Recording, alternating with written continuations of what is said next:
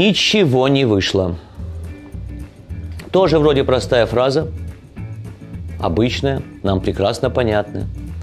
Но если конкретно вы ее не употребляете, эквивалент запомнить, усвоить невозможно.